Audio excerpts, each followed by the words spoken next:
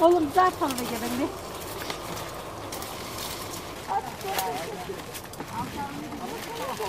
E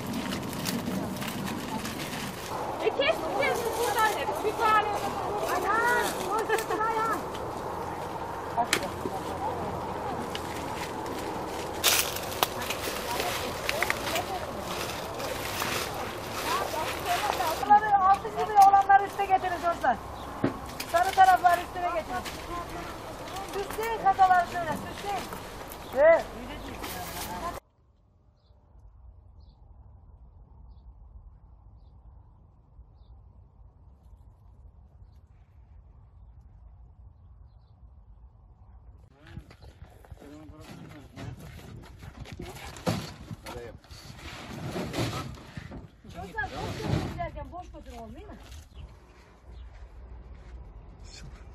Vamos lá. Esse cara.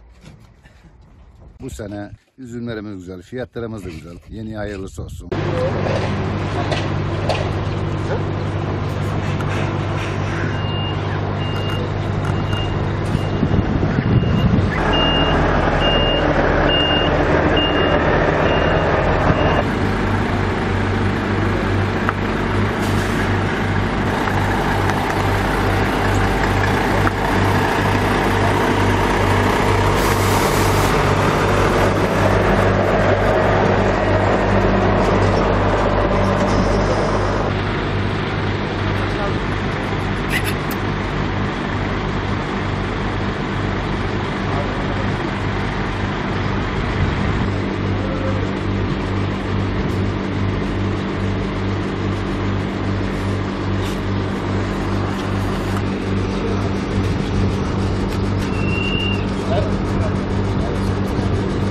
...2023 yılının ilk erkenci üzümü, süperyor üzümünün bugün tarih, çıkış tarihi verilmiştir.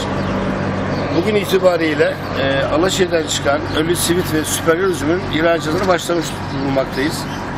Geçen sene 10 bin ton civarında olan süperyor ve ölü sivit üzümünün bu sene 10 bin ton civarında olmasını bekliyoruz.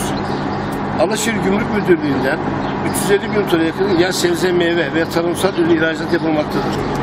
Net olarak 600 milyon dolar bir gelir elde edilmektedir. Geçen sene 180 186 bin ton resim ihracatı yaptık. Bu sene inşallah bu rakamı yine yakalamaya çalışacağız. E, aşırı yağışlardan üzümün kalitesinde ve tonajında düşükleri sebep olacaktır. Türkiye yaş sebze meyve üretiminde, yaş üzümünde dünyada 5 büyük ülkeden birisiydi. Dünya üretiminde şu anda üzüm üreticisi 14 ülkeye ulaştı. Rekabet şansımız gün geçtikçe zorlaşıyor. Üreticilerimizin eee, daha kaliteli, daha ürün yetiştirmesi gerekmektedir. Bu hava şartlarından dolayı da üreticimizin eee, mağdur olduğu, eee, hayat pahalılığından dolayı, girdi maliyet arttığından dolayı da e, masrafı çok yüksek olmuştur. Onun için eee devletimizden eee taban fiyatta ve yaş üzüm fiyatlarında destek bekliyoruz.